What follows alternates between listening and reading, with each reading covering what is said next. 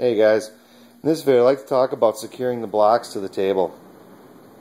And I just heard my air conditioner kick on so I hope it's not too loud. Um, different ways of doing it. I'm not sure how others do it. I, I really don't know. I just know that I have a dial caliper here and I also have a divider. You can use either or. If you're budget minded you can find one of these um, dividers at an antique store for I suppose around five bucks. Uh, that's about what I paid. And to sharpen them, you just pinch it together. Okay, they're on a spring, so you pinch it, throw it on a disc sander, or if you have a file, you file them together.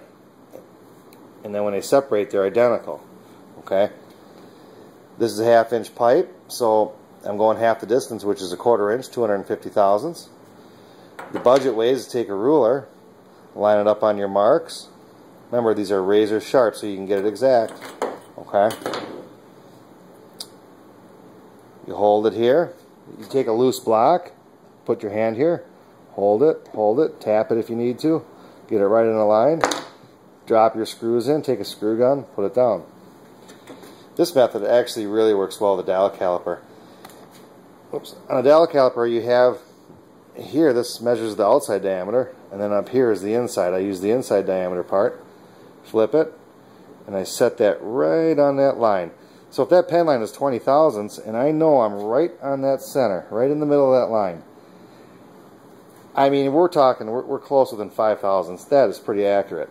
And you just hold it, line it up, hold it, screw it down.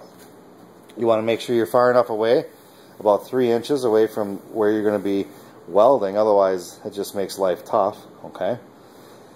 On the longerons, which are the two outside pipes, you put them in in pairs, those are the first pipes that get laid down, tubing rather. Those are the first sets of tubing that gets laid down as the longerons.